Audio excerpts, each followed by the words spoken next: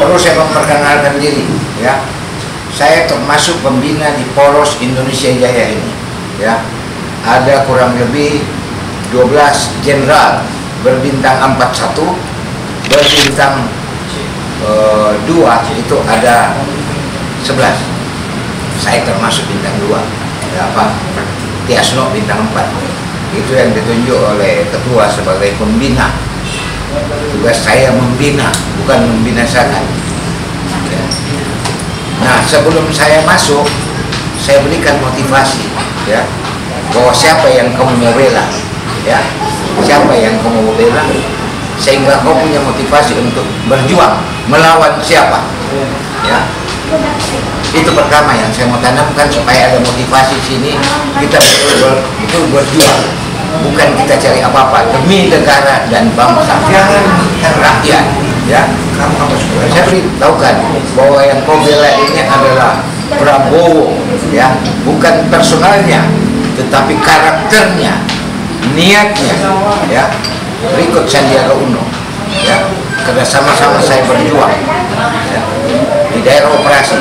Dia anak mantu presiden tapi dia masih mau mengorbankan dirinya daerah operasi sama-sama saya. Daerah operasi itu bukan dapat apa-apa hujan peluru. Saya sendiri berapa kali kena tembak. Kalau dia nggak tahu berapa kali juga. Tapi alhamdulillah masih panjang umurnya. Artinya apa? Orang ini berjuang bukan cari apa-apa tapi demi negaranya demi bangsanya demi rakyatnya. Kita lihat perjuangannya ke sini.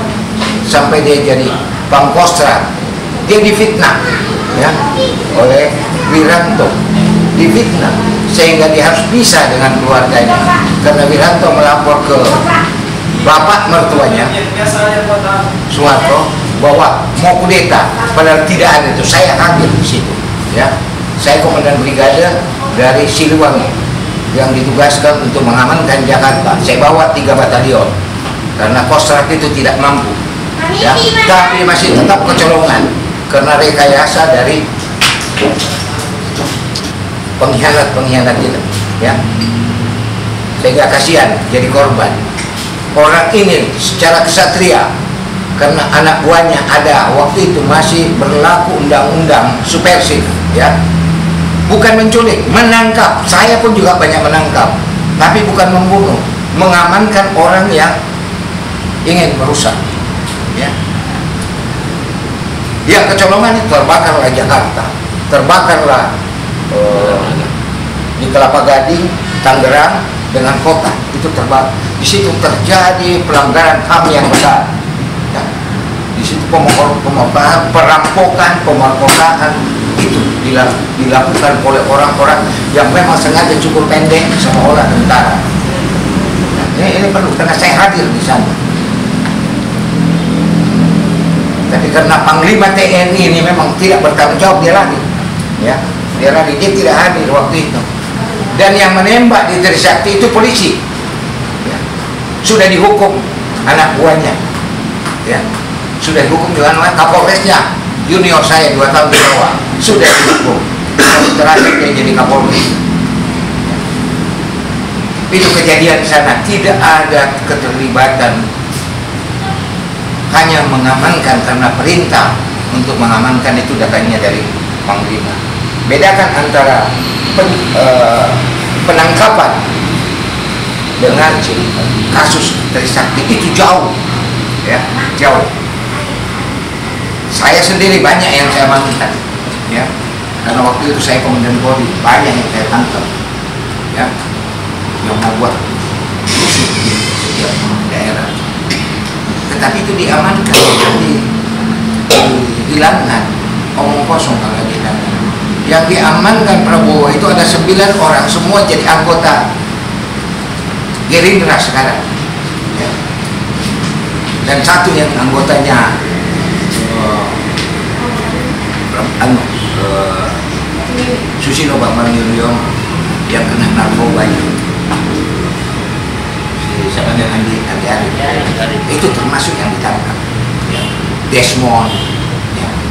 kalau mau tanya tanya ke dia bagaimana perlakuan Prabowo Prabowo ini membina satuannya sampai dia naik ke atas betul-betul profesional dan dia berjuang untuk negaranya. Di mana konflik dia datang, di mana ada konflik dia datang. Ya, ini Prabowo. Ya. Sehingga kau ngerti bahwa memang dia berjuang untuk rakyatnya. Ya. Niatnya di situ yang kita tangkap. Saya nggak tahu apakah dia baik nanti setelah jadi presiden, tetapi saya lihat dari karakter, ya, dari kejujuran, ya keberaniannya, rela berkorban, ya, itu demi anak buah, demi negara. Ini yang saya lihat. Ya, saya sebenarnya sudah tidak mau masuk arena ini, tapi saya lihat sudah mulai kelihatan kenakalan jenderal-jenderal yang haus kekuasaan. Setiap Prabowo diangkat dihantam dengan kasus HAM, padahal itu omong kosong. So, Prabowo tidak pernah dipecat, diberhentikan dengan hormat, ya, diberhentikan dengan hormat. Tidak ada pemecatan dan diperiksa oleh apa? Yang ditunjuk itu Muladi yang mimpin, ya. Muladi yang mimpin ditunjuk untuk investigasi. Tidak ada pelanggaran HAM yang dilakukan Prabowo.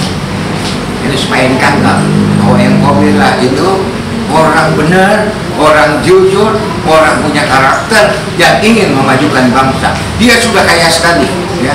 Dia sudah kaya sekali. Karena memang dia dari keluarga kaya. Ya. Sumitro itu menteri. Dia punya saudara-saudara punya usaha sebelum jadi mantu presiden, ya. Pendiri BNI. Ya, Pendiri BNI. ya pendiri BNI ini orang sudah kaya jadi jangan jangan lihat bahwa dia kumpulkan kekayaan waktu dia jadi mantu tidak dia kerjanya cuma berjuang karena sama-sama saya di lapangan ini yang uh, saya tanamkan sehingga tidak ada keraguan-raguan di dalam hati ya yang mau membela dia siapa lawan ini yang saya percatakan siapa lawan lawan di sini berkumpullah di sana. Yang paling bahaya adalah PDI, ya. PDI karena sudah berkumpul di sana anak-anak komunis, ya, anak-anak komunis yang mau balas dendam terhadap tentara. Karena dia korban, merasa korban dari tentara dan ulama. Ya. Lihat aja statementnya Megawati, ya, bahwa dia tidak butuh seorang muslim. Ya tapi dia angkat kok. Maruf Amin. Jadi Maruf Amin itu cuma dikorbankan. Ya. Suara azan lebih indah daripada eh suara kidung lebih indah daripada suara azan. Siapa itu? Adiknya. Ya, Fatmawati. Yang bagus itu adiknya lagi yang jadi uh, rektor Rahmawati yang dukung Prabowo. Karena lihat sudah kakaknya sudah menyimpang saya jadi ini tangkap ini. Nah kelompok partai yang paling bahaya adalah ini. Kalau semua segala cara dipakai itulah taktik komunis. Pemecah belah. Karena di komunis itu ya komunis itu agama adalah racun. Mau Islam mau Kristen mau Hindu itu racun buat dia. Ya. jadi dia tidak butuh agama itu ajaran daripada komunis.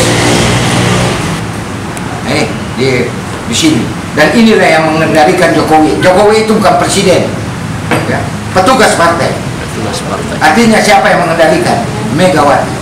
Tangkap ini ya. Di negara mana pun juga mengangkat presiden itu melalui partai-partai ya di negara mana pun.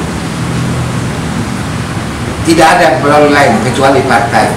Tetapi dan itu banyak partai yang angkat. Ya. Setelah dia jadi presiden dia bukan lagi alat partai atau petugas partai.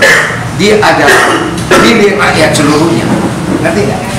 Ini tapi karena dia petugas partai dia dikendalikan setiap saat. Akibat dia dikendalikan rusak lainnya negara ya. Kalau partai-partai yang lain itu karena mau aman seperti PKB itu kan Muhaimin itu kena kasus. Ada daftarnya. Ya. KPK terutama uh, Abdul Somad yang bongkar. Dokter termuda. banyak Muhammad. Sama. Abraham sama. Itu dia lakukan. Nah, begitu dia anu, dia lari untuk mendukung. Itu bagus apa TGB ya? TGB. Ya. Itu punya pelanggaran. Newmont 12 miliar dia ambil uang di Newmont. Dia tidak bisa bertanggung jawab kan. Tiba-tiba dia belok karena mau dikasuskan. Belok mendukung. Tapi itu akan kena semua. Jadi orang-orang yang lari, kalau Perindo itu gara-gara ribut dengan Kejaksaan Agung, tiba-tiba dia pindah, padahal dia pendukung. Jadi semua ini lari supaya aman, karena pemerintah ini sangat otoriter, lebih ganas daripada otoriter yang lalu. Katakan. Kalau dulu dia gunakan tentara, sekarang dia gunakan polisi. Saya nggak tahu tentara. Bukan rahasia umum. Dia gunakan. Ya. Tetapi masih banyak polisi yang baik, saya katakan. Ya, yang tidak mau ikut arus. Tapi oknum-oknum itu sudah banyak. Ya. Jadi kan baik-baik bahwa yang kita lakukan ini, ya orang yang merusak negara. Kalau Megawati itu waktu dia presiden ada dia jual Indosat, dia jual itu betul-betul yang untung aja dia jual, ya dia jual. Bukan ada pengeboran gas yang harganya sangat murah. Mau diloboi sama SBY nggak bisa karena sudah kontrak. Artinya kita sangat dirugikan. Megawati itu orang tidak punya sekolah yang penting dapat duit banyak.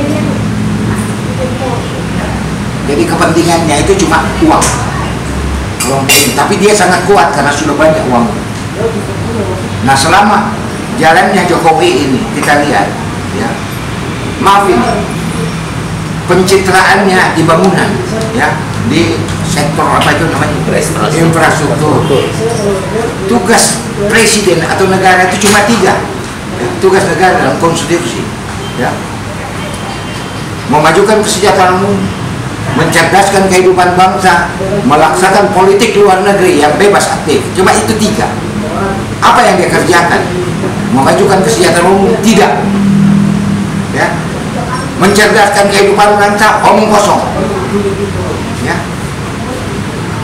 Tangkap ini baik-baik. Melaksanakan politik luar negeri yang bebas aktif? Tidak. Dilakukan. Baru-baru kajian kejadian pelepasan tahanan ya itu dia mengaku bahwa dia lobby dipermalukan oleh Mahathir ya dipermalukan oleh Mahathir dan tanda-tanda alam sudah pendukung utamanya Nur Musi itu siapa? Robi. Kasih